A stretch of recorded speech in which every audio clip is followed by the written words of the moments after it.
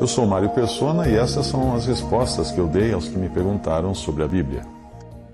Você escreveu perguntando se a grande comissão, a chamada grande comissão, que nós encontramos em Mateus 28, 18 a 20, valeria ainda para hoje.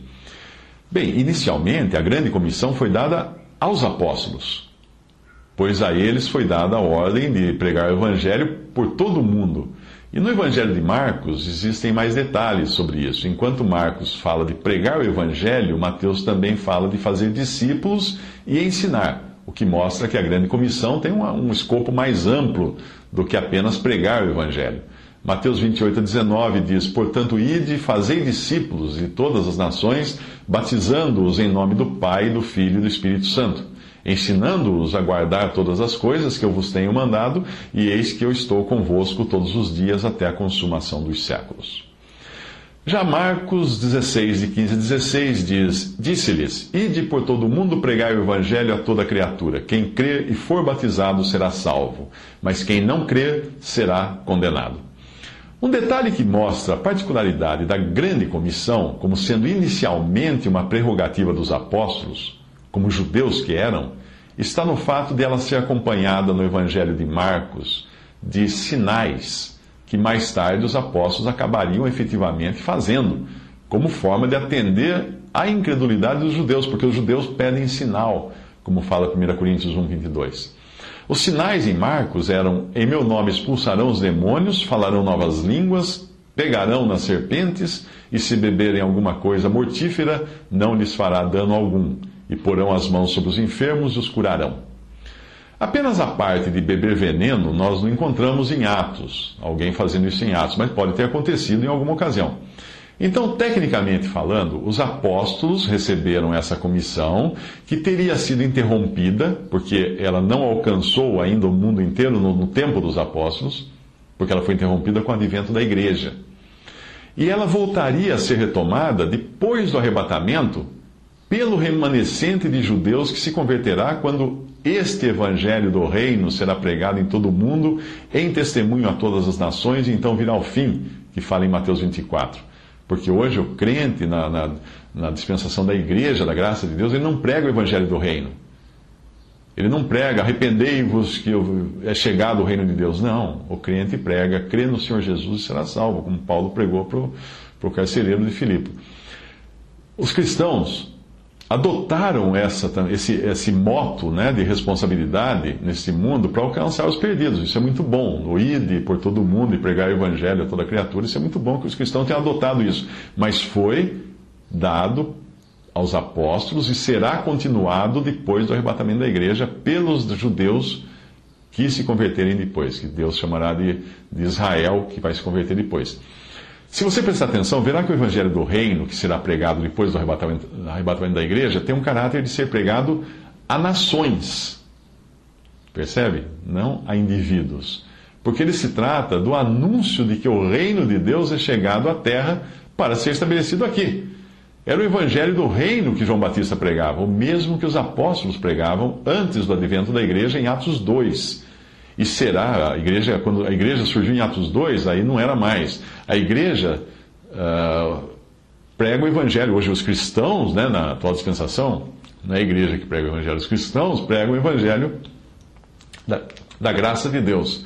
Uh, o evangelho do reino será pregado pelo remanescente de judeus fiéis que se converterão após o arrebatamento da igreja, e estes passarão pela tribulação, não os salvos por Cristo da atual dispensação.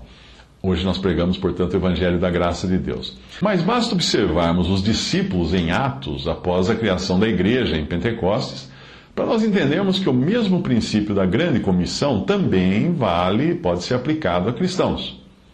Eles, os discípulos no início, relutavam em sair de Jerusalém, conforme o Senhor lhes havia pedido, para saírem de Jerusalém. E por isso Deus permitiu uma perseguição severa para espalhá-los pelo mundo levando o Evangelho. A desobediência dos primeiros homens em cumprir a ordem dada por Deus a Adão de multiplicar-se e povoar a terra, Deus falou isso para Adão, levou seus descendentes a, a decidirem ficar todos no mesmo lugar e construírem a Torre de Babel. Percebe? Deus precisou confundir as suas línguas, espalhá-los pelo mundo inteiro como já tinha sido dado a ordem para Adão. Agora, observe que existe um paralelo disso nas duas ocasiões.